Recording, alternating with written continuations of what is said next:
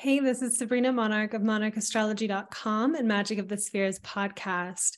And looking into the upcoming week leading up to the spring equinox, we have a special storyline happening around the sun, in that the sun will conjunct Neptune and then conjunct Mercury in a short period of time. And Mercury and Neptune will also conjunct in between that, and the three of them will be together.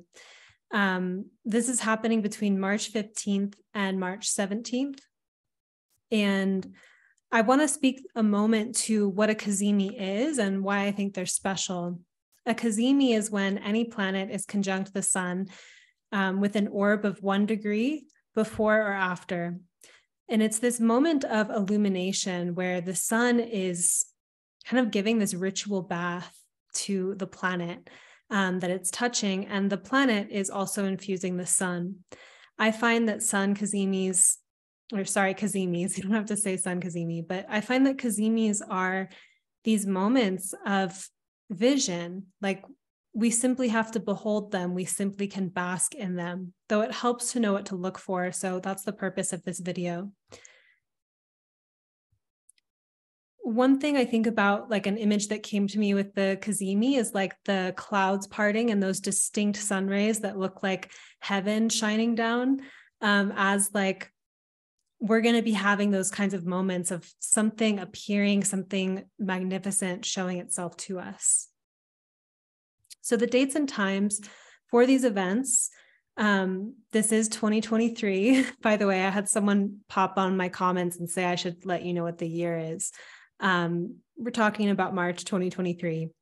Um, but March 15th at 4:39 p.m. Pacific, the Sun in 25 degrees of Pisces will conjunct Neptune in 25 degrees of Pisces. The next day, March 16th at 10:13 a.m. Pacific, Mercury, still in 25 degrees of Pisces, will conjunct Neptune in 25 degrees of Pisces. And then the following day, March 17th, 3:44 a.m., the Sun will be in 26 degrees of Pisces conjunct Mercury in 26 degrees of Pisces, with Neptune still hovering there at 25. So the three of them will be together. So here's some possibilities of what's going to be illuminated this week, and specifically around March 15th, 17th.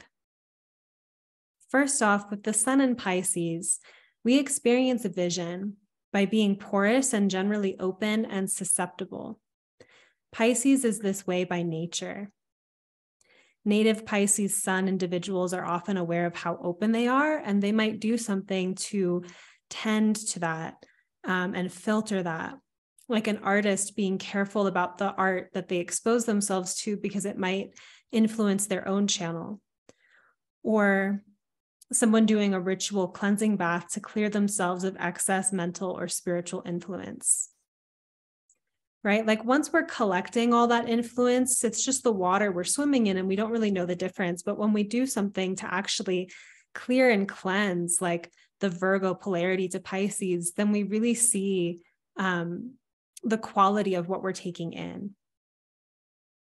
For Pisces, illumination can happen both in moments of intoxication, so being under an influence, right? And this is not necessarily an intoxicant like a drug or something like that, though it can be. Um, it can be something like a dazzling performance or the mood of a party or the spell of romantic attraction or the allure of a song, right? So we're like under the influence of something. And Pisces is that part of us that can be so open to the muses, so open to inspiration.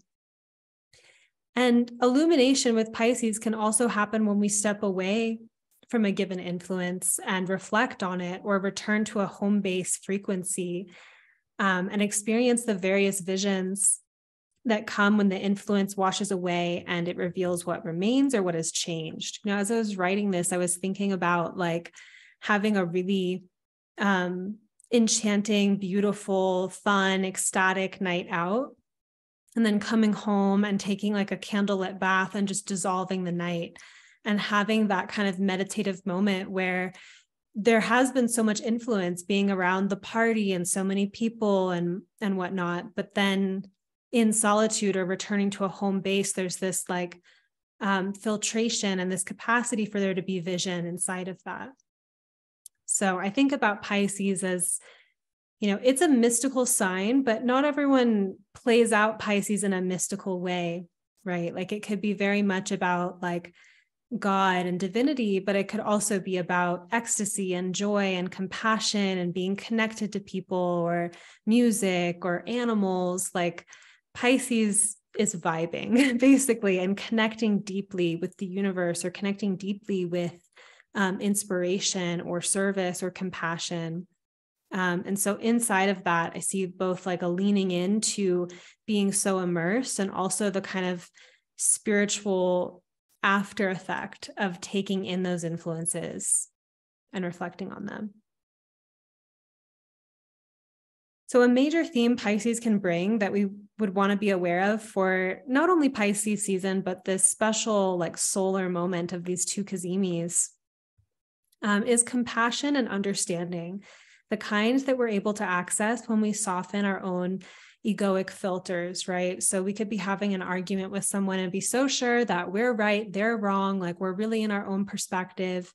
And nothing necessarily happens there, right? It's one thing to stand our ground, but to have that moment of like really actually having a softening, seeing the other person's perspective, seeing our own kind of karmic storyline, our own spiritual initiations that are happening through that moment. And there's a a dissolving of our own egoic boundaries and a capacity for um, some deeper experience to come through right? Not having boundaries can be a problem with Pisces too. So, um, always discernment. These conjunctions, just FYI, will all happen in the third decan of Pisces, um, which is associated with the 10 of Cups in the tarot. And so, some recommended listening if you want to go deeper into that. Um, Christopher Marmolejo and I recorded a podcast episode on Magic of the Spheres about the 10 of Cups and the 10 of Pentacles specifically diving into the third decan of Pisces and Virgo. So I'll leave the link in the notes for that. So now I'll go through and share some specific themes about what's being illuminated through Sun Neptune, Mercury Neptune, and then Sun Mercury, all in Pisces. So for Sun Neptune, this is drawing our attention to the sublime, the Oxford definition of sublime is of such excellence, grandeur, and beauty as to inspire great admiration or awe.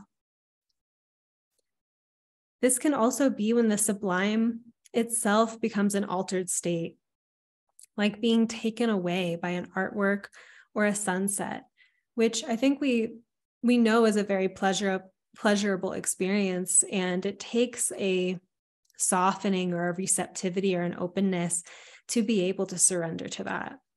Right. We're not always there, but maybe with the Sun Neptune, we have a moment.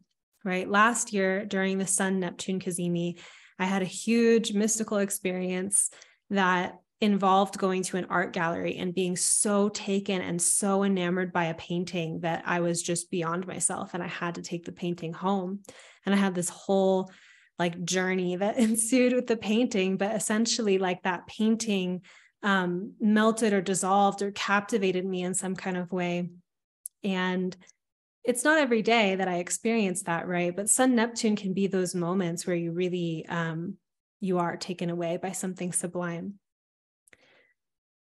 our vision can fuse with fantasy so sun vision neptune fantasy but fantasy comes in many genres Thus, we can have different moments, say, of like self inflation or feeling on top of the world, right? Sun does involve that kind of centered perspective. Um, versus feeling like nothing or excruciatingly unimportant or shameful. Right. Sun is like shining light, right? So when we shine light on parts of ourselves, we can be like, wow, how beautiful. Or we can be like, that's so shameful. You know, the sun involves both of those kinds of heights and lows. Do you think about the sun and its shadow too? The sun, at least during this Cazimi, may pierce through fantasy and offer moments of remembering, like, hey, you're high, or it's just a movie, you know. Uh, so we may find the creative capacity, or we may find that we have creative capacity to direct or shift the frequency or the genre, if you will, of the living artwork that we're inside of. right? Like our eyesight and like what we choose to focus our lens and our attention and our sight upon like that's our own kind of illumination in some sense um, the eyes luminaries. Um, we kind of direct the film that we're viewing by where we cast our eyes right? What we focus on what we pay attention to. And at the same time neptune is a powerful intoxicant right? So when I feel dosed by a planet or dosed by an experience, I might be able to see like, wow, I'm really living out this genre or this kind of flavor. And even though I can see that this is going to pass, um, I'm still in it. I'm still in the sea of it, and I can't necessarily shake it off. Um, so with Sun Neptune, we can be like having these moments of like, oh, I'm I'm a creator and I I'm creating my aesthetic experience. Or we may at least simply be aware of like, I'm a little bit, I'm tripping right now, you know, or like I'm having an experience. And that clarity gives a certain level of detachment.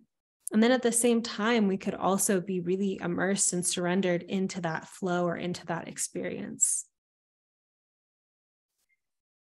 Then Mercury, Neptune, and Pisces, and the illuminations with that. And though Mercury, Neptune itself is not um, a cazimi, as a cazimi is the sun conjunct another planet, Mercury and Neptune are still close enough um, to the sun that they are also cazimi, but they're next to each other. So I wanted to reflect on the Mercury Neptune conjunction for you as well.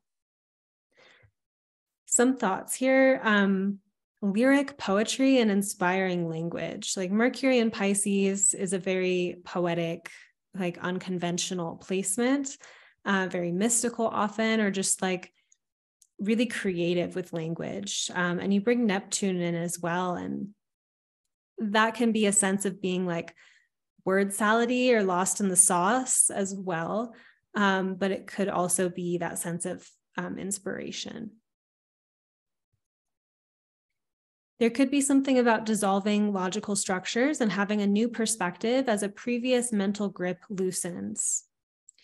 Mercury Neptune is not necessarily a transit where we feel like on top of it or like super organized mentally. Um, it's more of like a right brained, intuitive, watercolor, artistic kind of space.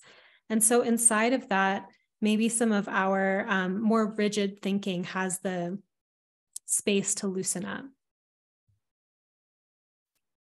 There could be a vulnerability to Mercury Neptune of being out of place or being like a stranger in a strange land, right? So the image for this is like being in a foreign land and not speaking the native or the the local language but trying to figure something out and the kind of melty, sometimes magical experience that ensues, where because you can't go by the normal signs and signals as everyone else, you're still interacting with reality, but you're doing it in a very like different, kind of on the margins kind of way.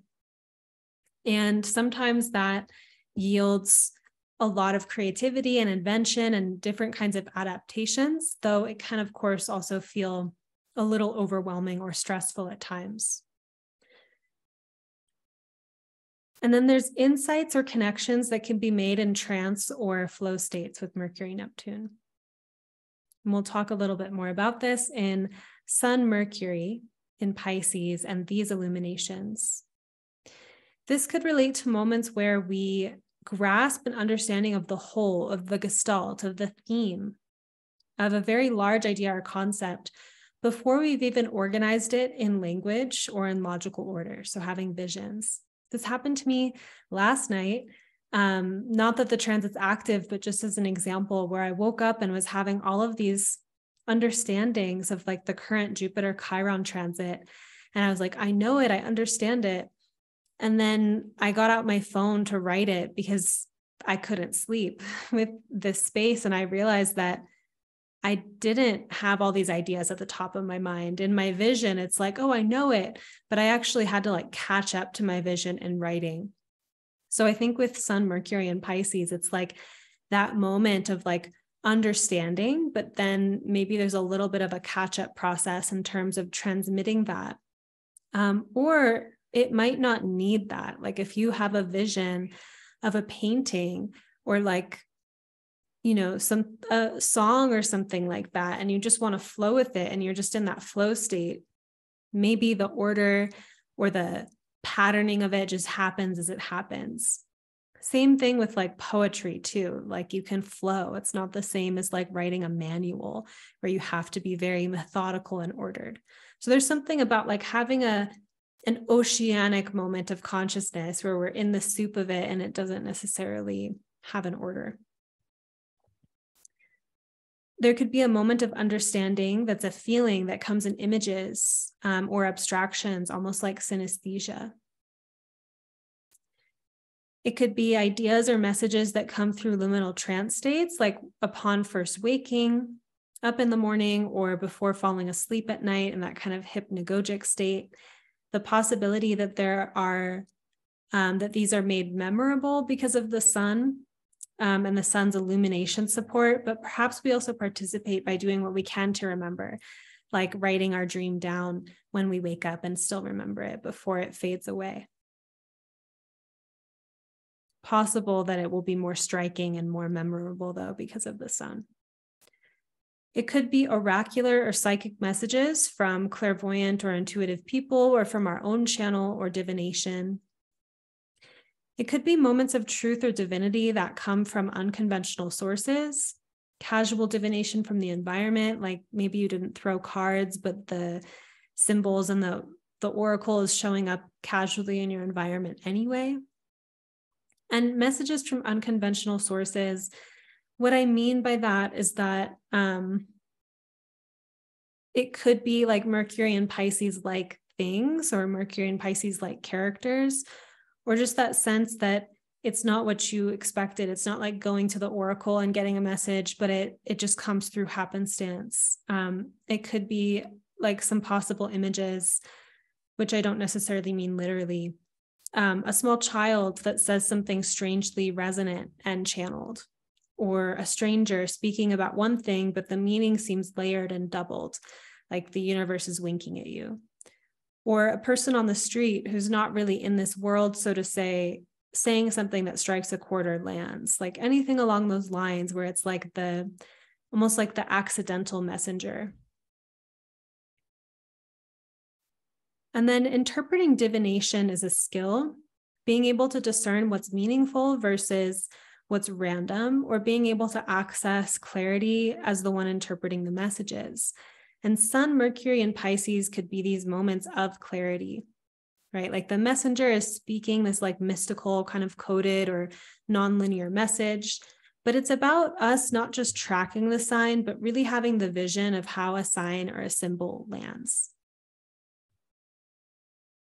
And so, in summary of all of this, and before I get into that, I just want to say if you have studied evolutionary astrology with me before in my intensive, I'm offering a program for alumni this spring called Cosmic Mirror, a transit, a course in transit literacy and practice. And we'll be getting into transits, world transits, personal transits as a group, bringing in our experiences, looking at our natal charts and the transits um, juxtaposed over it, and coming up with delineations and analysis together as a group. So, learning how to see these things, learning how to read the magic of transits happening. This is one of my favorite things of just having these moments like it's a full moon in Gemini, and I go to the market and I meet a woman who's chatty and befriends me and is asking me all these curious questions. She tells me that she's a Gemini sun and her name is Celine. And it's the full moon, right? Celine means moon in Gemini. And I just happened to meet this Gemini named Celine. Like stuff like that happens in my life all the time. It happens to like to all of you, I'm sure, but we don't always have the sight or the context. And the weird thing is that once we do have the sight or the context because we're practicing astrology, it's like the universe is playful back and is like, oh, you're paying attention. Like, let me throw you these magical experiences. So I think that transits, you know, to speak of the sublime, are pretty sublime to witness. And this course um, that I'm offering is like a practicum. It's an opportunity to practice in group. The communities in these courses are always amazing, as you know, if you've studied with me before. So I'll leave the link in the notes um, to learn more about that course. And you can simply email me, Sabrina at monarchastrology.com to apply.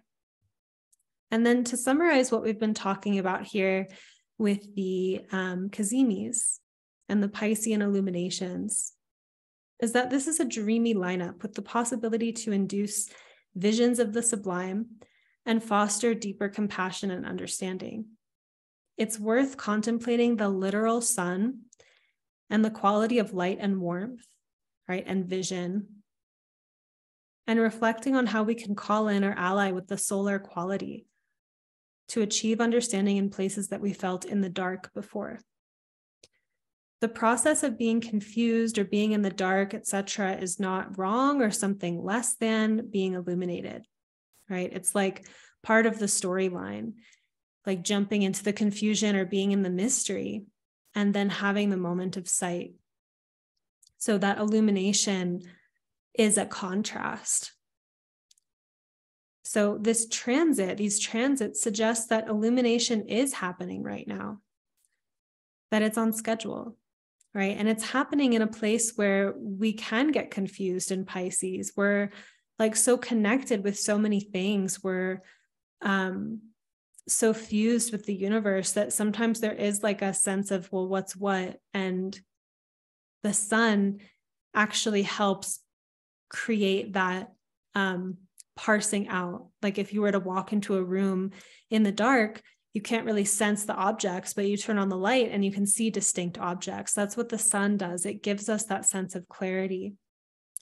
So we may look, we may point our awareness to how we're gaining clarity or illumination upon something that hasn't seen so much light in the recent past, right? And it might feel um, joyful. It might feel like a miracle. It might feel like knowledge. It might feel like a spiritual experience.